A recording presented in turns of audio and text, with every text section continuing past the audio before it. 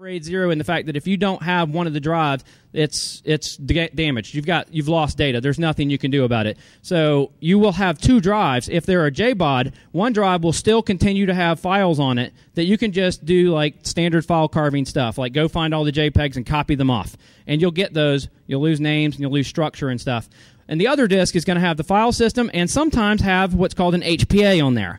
So you'll have a host protected area, and it will be the size of the two drives together. So in other words, you'll plug in, let's say these are two 250s, and together they make 500. The first drive will have an HPA on it that will say, I am 500 gigs. So you plug in this 250 gig drive and it says I'm 500. Well, you know right away that that's what you're dealing with. That you've got one, and you know which one you have too, because that'll be the first one. That means the second disk is dead. So you have file system, and you can probably actually at least fix the files that exist on this one disk.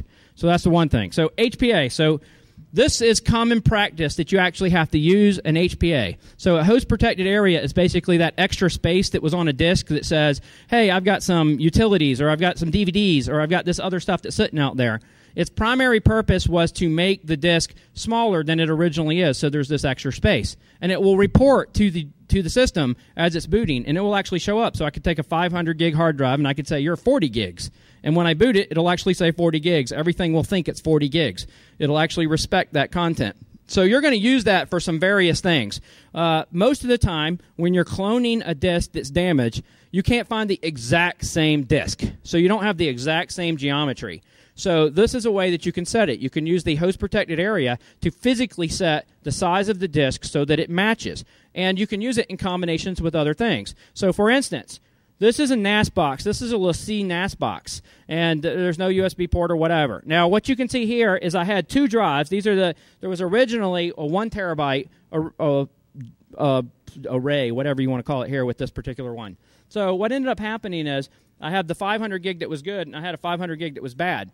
I took a one terabyte and I actually cloned the one terabyte. But now when I put it back in, I need the system with this custom board with whatever they did, because my whole point is to make my life as easy as possible. I could probably do this in software, but why not let the hardware, if it's still functioning, do the job?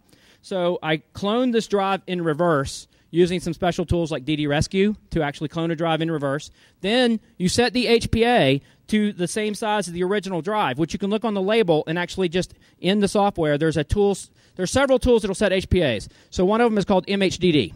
So MHDD is a free boot disk. You can boot on, plug the drive into the ATA controller, and you can basically type in from the label what your size is, and it will make it that size. So I put the one terabyte drive in here, and now it's a 500 gig. And the two drives got bound back together again in the RAID array, and I was able to actually copy the stuff off physically without having to do any other work. So make sure that you're paying attention to things like that. If you're dealing with ZFS and XFS, which will all come after the fact, like if you've repaired a RAID 0, RAID 5, you may still have XFS or something to deal with. There's really only two ways that I know of right now that you can actually deal with. There's one that's called Test Disk, which is basically for repairing partitions, and they've added XFS support to it. Uh, they currently, I do not think, have ZFS, but he adds things all the time. So uh, test disk is your one way to actually say, read all the files, repair partition structure, write it back. So keep test disk in mind. The other one is a commercial product, which is slightly more than $100. Uh, it's called UFS Explorer, and it does XFS, and there's a current version that actually supports ZFS. So it's one of the only ones I know of doing ZFS. So as you start running into new RAID arrays that have ZFS, you may need something like this. Uh, and you can see right here, this was a Buffalo TeraStation that we actually mounted, and we were able to display and actually extract all the data after we corrected the physical problem with the disk. So that's enough of those other types. So let's talk about RAID 0. I know, Drake. Yeah, woo. All right, so RAID 0, just real quick. Basically, what you're looking at with RAID 0 is you have two or more drives, and they're broken up into slice sizes. Now, there's some defaults that the controller will normally do, but you know, you tech guys, every time I go to deal with one, somebody goes, "Hey, wouldn't it be nice if it was 8K this week?" And they go into the controller and play with the sizes, so it's almost never the standard size or whatever you were thinking it was. But most of the motherboards and stuff that are locked down, you're going to end up with standard sizes where you'll have a slice size, and it rotates between the two slice sizes with your data. If one drive is dead and you cannot repair it, you cannot physically go through the process of my previous stuff you will not get anything worthwhile out of it. You're going to get basically like a bunch of thumbnails. You're not going to get anything that's going to be really valuable except depending on the slice size. So if you have 32K slice sizes, well, 32K is gone from every file, every other 32K. So you end up with nothing. So RAID 0 does not have any redundancy at all. So I try not to call it RAID 0, I try to call it AIDS. So it is a ray that's going to suck.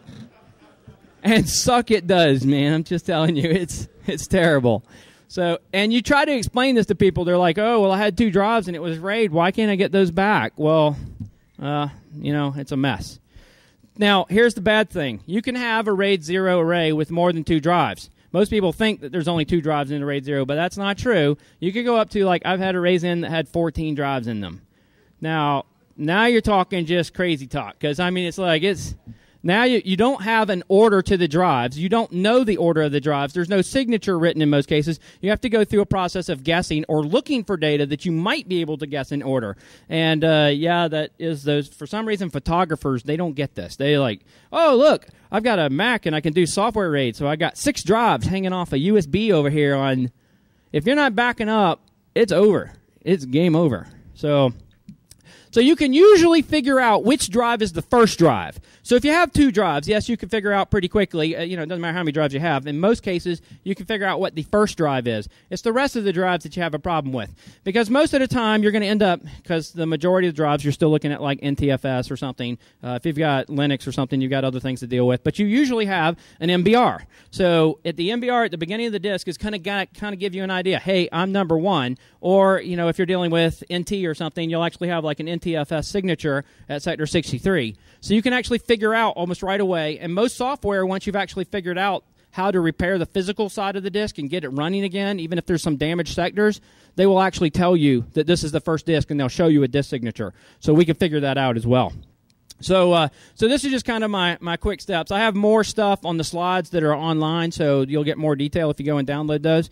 But ultimately, what we're going to do is we're going to mount the images, we're going to review them, we're going to look at the sizes and basically play with each one, starting with the default. We're going to scan for some pictures, then we're going to extract them, listen, you know, look at them, some MP3s. We're going to listen to them your goal is basically to look at something like this. If you know nothing else about the drive, you're going to start with slice sizes.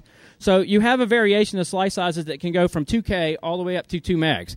Most of the time, I'm dealing with things that are between 512 and 32K in the majority of them. The standard for most of them is around 64K, but you can have drives that I've seen several of them, especially uh, uh, the manufacturer chose some special stripe size if you bought it from somebody else and ends up being something like 512K. So you can go through the variations of looking at pictures and samples in between each of the sizes. So your goal is while I'm processing the data, find a picture that looks like it's between 32K and 64K. Look at it and see if it looks complete, and then move on through each of the steps until you actually have rotated through them.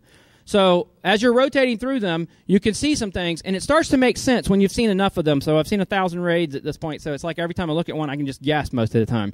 But uh, so here's some of the samples. So now, as convenient as it is that her head, I mean, uh, well, anyway.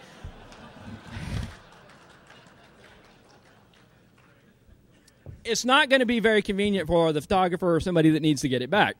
So in this particular case, you're actually missing a stripe. So you either have a disk that's actually gone, or you're missing a big chunk of the data itself.